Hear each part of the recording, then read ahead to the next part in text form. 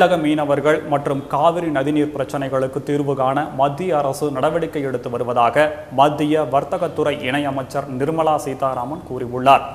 மத்திய அமைச்சராக பொறுப்பேற்ற பிறகு முதல் முறையாக சென்னை வந்த நிர்மலா சீதாராமனுக்கு பாஜக சார்பில் உற்சாக வரவேற்பு அளிக்கப்பட்டது. பின்னர் செய்தியாளர்களிடம் பேசிய அவர் உப்பு மற்றும் மஞ்சள் உற்பத்தியில் தமிழகம் முதன்மை பெற்று திகழ்கிறது என்றும் இதேபோல் தக்காளி மற்றும் நெல் உற்பத்தியிலும் முதல் இடத்தை பெற திட்டமிடப்பட்டுள்ளது என்றும் கூறினார். காவிரி நதிநீர் பிரச்சினைக்கு நிரந்தர தீர்வு காண மத்திய அரசு நடவடிக்கை எடுக்கும் என்றும் இந்த பிரச்சனையின் தீவிரத்தை மத்திய அமைச்சர் உமா பாரதி புரிந்து கொள்வார் என்றும் அவர் குறிப்பிட்டார். தமிழக மீனவர்கள் நலனில் மத்திய அரசு அக்கறை கொண்டுள்ளது என்றும் மீனவர்கள் தொடர்பான பிரச்சினைக்கு நிரந்தர தீர்வு காண நடவடிக்கை எடுக்கப்படுவதாகவும் நிர்மலா சீதாராமன் தெரிவித்தார்.